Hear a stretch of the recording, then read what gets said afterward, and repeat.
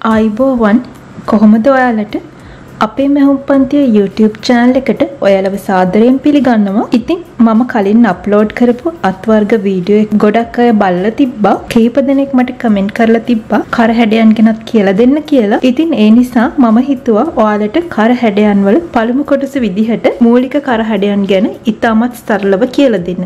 මොකද අද විලාසිතා ලෝකයේ විවිධාකාර හරිම ලස්සන කර හැඩයන් තියෙනවා. ඒ වගේම කර හැඩයන් ඉදිරියටත් බිහි වෙනවා. ඉතින් නව නිර්මාණ නව කර කරහැඩයන් අපිට කරගන්න පුළුවන් වෙන්න නම් අපි මුලටම මූලික කරහැඩයන් ගැන හොඳ අවබෝධයක් ලබා ගන්න ඕනේ. ඔයාලා මැහුම් ශේෂ්ත්‍රයට ආදුනිකයෙක් නම් ඔයාලා මම මේ කියන කරුණ ටික වෙනම පොතක සටහන් කරගන්න.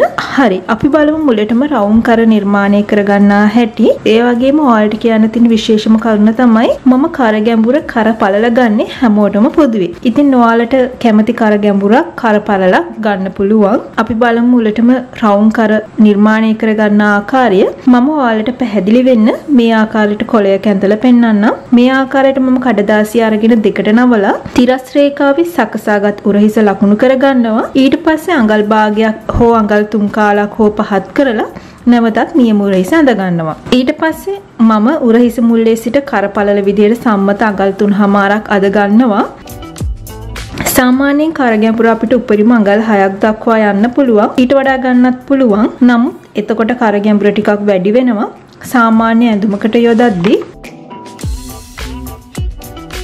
ඉතින් මම කරගැඹුර අගල් 6ක් මෙතනදි ලකුණු කරගන්නවා. ඊට පස්සේ මම පැන්සලෙන් මේ විදියට අඟල් 3මාර හරහා සිරස් රේඛාවක් පහළටත් අඟල් 6 හරහා තිරස් රේඛාවකුත් ඇඳලා මේ තිරස් රේඛාව අඟල් 3මාරි සිරස් රේඛාව හමුවන තුරු ඇඳ ගන්නවා. මේ ආකාරයට මම කොටුවක් තමයි ඇඳගන්නේ. ඔයාලා රෙදි කෑල්ල අඳිද්දි ටේලරින් චෝක් එකක් උපයෝගී කරගෙන ඇඳගන්න.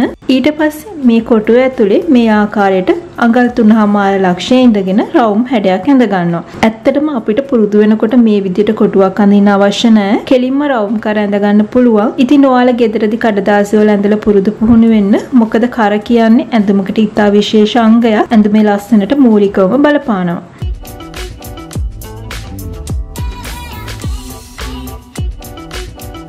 හරි. ඊළඟට අපි බලමු දෙවෙනි කර හැඩය මොකක්ද කියලා. දෙවෙනි කර හැඩය විදිහට මම කියලා දෙන්නේ කොටු කර. හරිම ලේසි කර හැඩයක්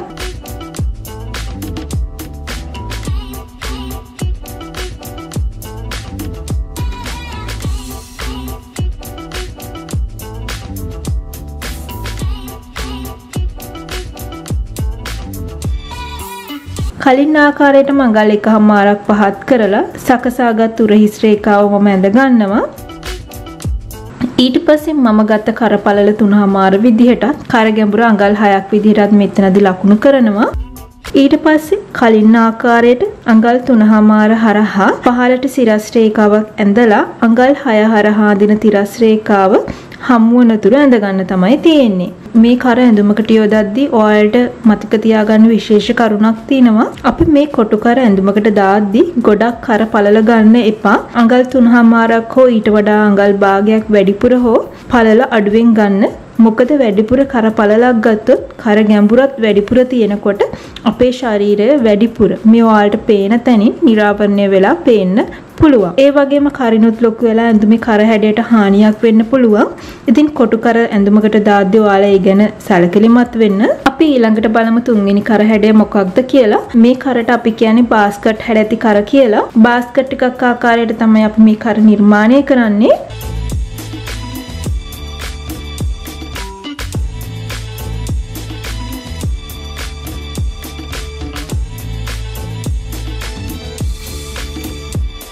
කලින් ආකාරයටම රෙද්ද නවාගෙන සකසාගත් නියම උරහිස් රේඛාව මම මෙහෙම කෙලින්ම ඇඳ ගන්නවා. ඊට පස්සේ අඟල් 3මාර කරපළල විදිහටත් අඟල් 6 කර ගැඹුර විදිහටත් මේ විදිහට ලක්ෂ දෙකකින් ලකුණු කර ගන්නවා. ඊට පස්සේ අපි කරන්න ඕන මේ කර ගැඹුර හරහා අඟල් 3මාරට අඩු. ඒ කිව්වේ කරපළලට අඩුවෙන් ලක්ෂයක් ලකුණු කර ගන්නවා. සාමාන්‍ය අඟල් දෙකක් දෙකමාරක් වගේ ලකුණු කරලා අඟල් 3මාරේ කර ගැඹුර ඉඳන් ඇල රේඛාවක් ඇඳලා මේ අඟල් දෙකමාර ලකුණු කරගන්නවා. ඒ කිව්වේ කර පළල අඩුවෙන් ලක්ෂයක් ලකුණු කරනවා. සාමාන්‍ය අඟල් දෙක දෙක හමාරක් වගේ ලකුණු කරලා අඟල් තුන හමාරේ කර ගැඹුරේ ඉඳන් ඇල රේඛාවක් ඇදලා මේ ආකාරයට සම්බන්ධ කරගන්න. එතකොට මේක කැපුවාම පස්සේ අපිට බාස්කට් හැඩති කරක් ලැබෙනවා. ඔයාලට දැන් පේනවා ඇති බාස්කට් හැඩති කරක් කියන්නේ මොකක්ද කියලා. හරි. අපි ඊළඟට බලමු හතරවෙනි කර හැඩය මොකක්ද කියලා. හතරවෙනි කර හැඩය තමයි U කර හැඩය. U අකුර ආකාරයට තමයි අපි මේ කර නිර්මාණය කරගන්නේ.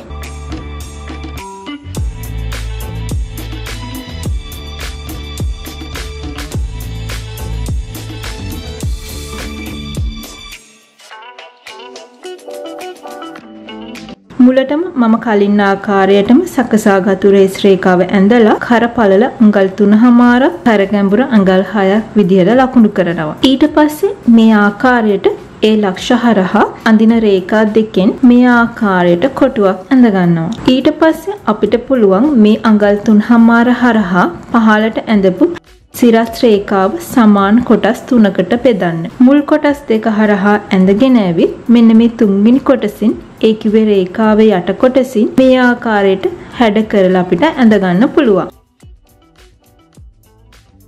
මේ එක ක්‍රමයක්. මම තවත් ක්‍රමයක් ඔයාලට කියලා දෙන්නම්. අපි මේ සිරස් රේඛාව කොටස් තුනකට බෙදලා මුල්ම කොටස ඉවර වෙන තැනින් මේ ආකාරයට U හැඩය අපිට ගන්නත් පුළුවන්. ඔයාලා කැමති විදිහකට යෝ කර හැඩය ඇඳ ගන්න පුළුවන්. හරි. අපි බලමු ඊළඟට පස්වන කර හැඩය මොකක්ද කියලා. පස්වන කර හැඩය විදිහට මම කියලා දෙන්නේ V කර.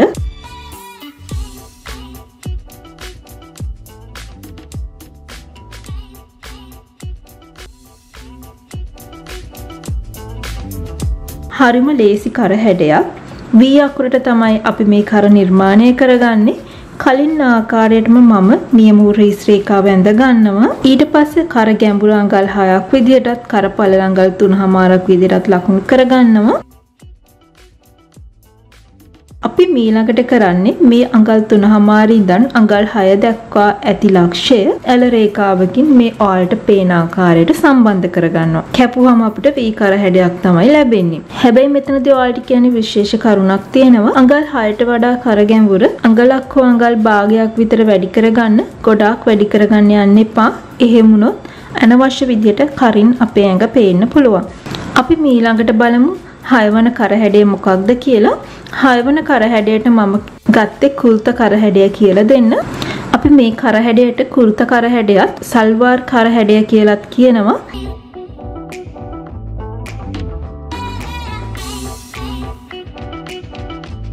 ඉතින් කලින් ආකාරයටම මම සකසාගත් උරහිස් රේඛාව ඇඳ ගන්නවා. ඊට පස්සේ කරපල ළඟල් 3මාරක් විදියට උරහිස් රේඛාවේ මැද සිට ලකුණු කරගන්නවා. මෙතනදී මම කර ගැඹුර කෙලින්ම අඟල් 6 ලකුණු කරන්නේ නැහැ. අඟල් 4මාරකට වගේ ලක්ෂයක් ලකුණු කරලා ඊට පස්සේ නැවතත් එතෙන් සිට අඟල් 2මාරක් දෙකක් වගේ දුරින් ලක්ෂයක් සිරස්ස පහළට ලකුණු කරගන්නවා. ඊට පස්සේ මම කලින් ආකාරයටම තිත් රේඛාවලින් මේ විදිහට කොටුවක් ඇඳ ගන්නවා. ඉතින් ඒක අත්‍යවශ්‍ය නැහැ ඔයාලට කැමති නම් විතරක් ඇඳ ගන්න පුළුවන්. ඊට පස්සේ රවුම් හැඩයක් මේ විදිහට අඟල් 3මාරේ ඉඳලා ඇඳගෙන ඇවිත් මේ හරියට වගේ ඇවිත් ඒකිව අඟල් හතරහමාර ලක්ෂයේ ඉඳලා අඟල් දෙකක් එකහමාරක් වගේ දුරින් නවත්තනවා. ඊට පස්සේ එතැන් සිට පහළට මේ ආකාරයට V හැඩයක් සරල රේඛාවකින් අඟල් දෙකහමාර ලක්ෂයට සම්බන්ධ කරගන්න. අපිට ඕන නම් මේ V හැඩය නැතුව වක්‍ර ආකාරයට උනත් හැඩයක් ගන්න පුළුවන්. ඒක ඔයාලට කැමති විදියකට කරගන්න පුළුවන්. ඉතින් මෙතනදි කියන්න ඕන විශේෂ කරුණ තමයි අඟල් 6 මම කොටස් බෙදලා කර ඇන්දේ අඟල් 6 ඉඳගෙන මම තවත් අඟල් දෙකහමාරක් පහළ ලකුණු කරා නම් සමහරක් විට අපේ කරින් අපේ ඇඟ වැඩිපුර නිරාවරණය වෙන්න පුළුවන්. ඉතින් මම පොදුවේ ඔයාලට කියලා දෙන නිසා තමයි මේ පොදුවේ මේ කර පළල කර ගැඹුර ගන්නෙ. හරි. අපි ඊළඟට බලමු හත්වන කර හැඩය මොකක්ද කියලා. හත්වන කර හැඩය තමයි බෝඩ් නෙක් එක. හරිම ලස්සන කර හැඩයක් ගවුම් වලට විශේෂයෙන්ම මම ආස කරන කර හැඩයක්. ඉතින් මේ කර හැඩය අපි නිර්මාණය කරගන්නේ බෝට්ටුවක් ආකාරයට. දැන් ඔයාලට පේනවා ඇති.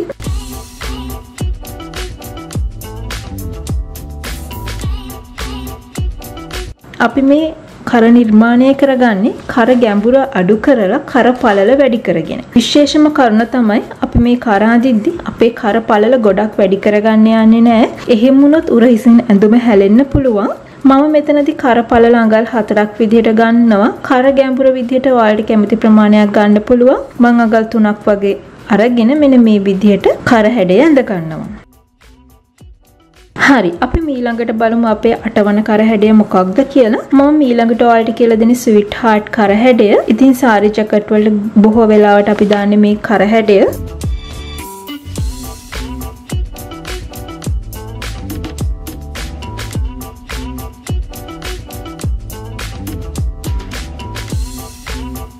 මේ විදිහට මම නැවතත් කුරහිස් රේඛාව ඇඳ ගන්නවා. ඊට පස්සේ අඟල් 3මාරක් කරපළල විදිහටත් අඟල් 6ක් කර ගැඹුර විදිහටත් ලකුණු කර ගන්නවා. ඊට පස්සේ මම මේ අඟල් 6 කර ගැඹුර හරහා අඟල් 2මාරක් වගේ ඉදිරියට රේඛාවක් ඇඳලා කලින් ඔයාලට කියලා දුන්න ආකාරයටම බාස්කට් කර හැඩය ඇඳ ගන්නවා. ඊට පස්සේ මම මේ අඟල් 3මාර හරහා ඇඳපු ඇල රේඛාව සමාන කොටස් තුනකට බෙදා ගන්නවා. උඩ ඉඳලා මුල් කොටස් දෙක ඇතුලේ රවුම් හැඩයක් අඩසද ආකාරයකට ඇඳ ගන්නවා. ඊට පස්සේ එතැන් සිට මේ ආකාරයට අඟල් දෙකමාරේ ලක්ෂයට රවුම් හැඩයක් ඇඳ ගන්නවා. දැන් ඔයාලට පේනවා ඇති ස්විට් හાર્ට් කර හැඩය. ඉතින් මම මේ ඔයාලට කියලා දුන්නේ එක ක්‍රමයක්. මම ඔයාලට මෙතනදී තවත් ක්‍රමයක් කියලා දෙන්නම්. කලින් ආකාරයටම කර පළල කර ගැඹුර ලකුණු කරගෙන බාස්කට් කර හැඩයක් ඇඳගෙන ඊට පස්සේ අඟල් තුනමාර හරහා පහළට ඇඳපු සිරස් රේඛාවේ කොටස් දෙකකට බෙදලා මුල් කොටස තුල වක්‍රාකාරව ඇඳලා ස්විට් හාට් හැඩය මේ ආකාරයට ඇඳ ගන්න පුළුවන්. ඉතින් මේ කියලා දුන්නේ ඔයාලට මූලික කර හැඩයන් ඔයාලා කඩදාසිය වල ඇඳලා පුරුදු වෙන්න. එතකොට ඔයාලට කාලයක් යද්දි කර හැඩයන් දල සටහන උපයෝගී කරගන්න නැතුව කෙලින්ම ඇඳ ගන්න පුළුවන්. පුහුණුවයි අවශ්‍ය වෙන්නේ. ඒ වගේම මම අලුත් කර හැඩයන් ගැන තවත් වීඩියෝ එකක් ඉක්මනටම දාන්න බලාපොරොත්තු වෙනවා. අද පාඩමේ ඔයාලට යම් ගැටලුවක් හෝ යෝජනාවක් තියෙනවා නම් ඔයාලා මට කමෙන්ට් කරන්න. ඔයාලගේ කමෙන්ට්ස් මට මගේ පාඩම් මාලා සකසන්න ගොඩක් වැදගත් වෙනවා. ඉතින් ඔයාලා මේ වීඩියෝ එකට කැමති නම් ලයික් එකක් දාන්න. අපේ මැහුම් පන්තිය YouTube channel එක subscribe කරලා නැත්නම් subscribe කරන්නත් අමතක කරන්න එපා. ඒ වගේම මැහුම් ගෙතුම් ඉගෙන ගන්න ආසාවෙන් ඉන්න ඔයාලගේ යාළුවෝ අතර මේ වීඩියෝ එක share කරන්න අමතක කරන්න එපා. තවත් දවසක අලුත් වීඩියෝ එකකින් ඉක්මනින් හමු වෙමු.